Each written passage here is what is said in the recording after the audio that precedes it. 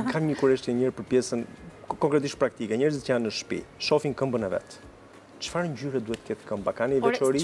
Çfarë duhet vërejtë te vetja kur duhet të kuptojnë që nuk janë mirë dhe? Cilat janë ato që mund të japin shenjë që duhet parë, duhet shkuar ke refleksologu? Ci sono persone a casa, che guardano il loro piede. Se guardandolo, cosa potrebbero notare per dire io ho bisogno di andare dal riflessologo? C'è qualche cosa che eh, guardando il piede potrebbe suscitare un, dire, un dubbio? Eh, sì, ci sono dei segni, eh, però per una persona inesperta sono difficili da, da, capire. da capire. perché a volte sono ehm, punti che non è facile raggiungere con l'occhio, trovare e eh, sono dei segni eh, precisi, vanno studiati. Possiamo dire che ci sono delle zone eh, che a volte hanno un leggero rigonfiamento e sono legate per esempio ad un gonfiore intestinale. Mm -hmm.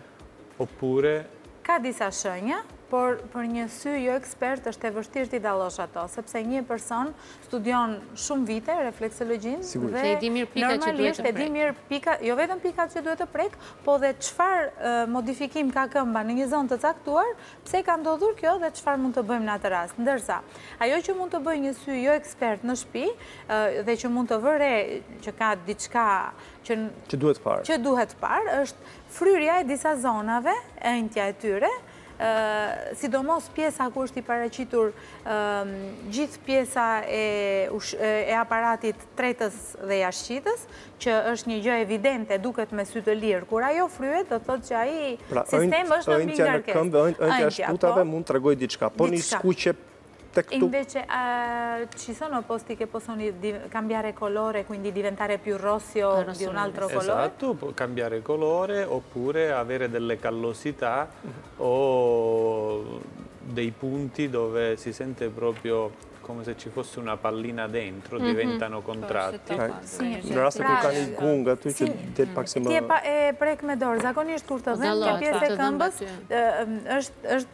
Pak i çuditshëm ky fakt se unë e kam provuar për veten time këtë teknikë në fillim që më ka zgjidhur një seri problemesh para 17 vitesh dhe po patjetër do t'ju tregoj dhe zakonisht kur ti prek pjesën që dhemb dhe thua këtu paska si një një gungë si një kokë po në realitet ajo pjesë e këmbës nuk ka asgjë është vetëm organi që është aty i paraqitur dhe ai organ është në mbingarkesë stresi apo mund të ketë ndonjë problematikë shëndetësore. Infatti questo succede spesso, a volte quando il segno è evidente la persona si preoccupa che ha un problema al piede. Kjo ndodh shumë shpesh se zakonisht kur i del një diçka një gungë apo diçka në këmbë, personi shqetësohet që ka një problem aty te këmba. Në realitet këmba nuk ka asgjë, është organi.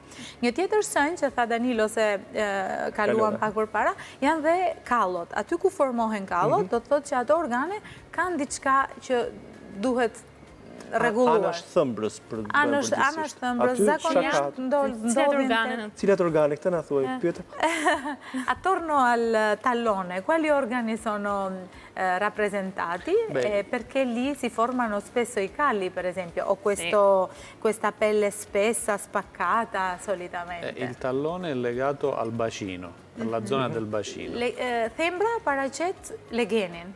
Il bacino spesso viene trascurato, ma è una zona, è la zona che divide la parte alta con la parte bassa del corpo. Shpeshherë legeni në përgjithësi lihet mbas dore, por në realitet është një pjesë shumë e rëndësishme e trupit, sepse është ajo që ndan, që bashkon ose ndan pjesën e poshtme me pjesën e sipërme.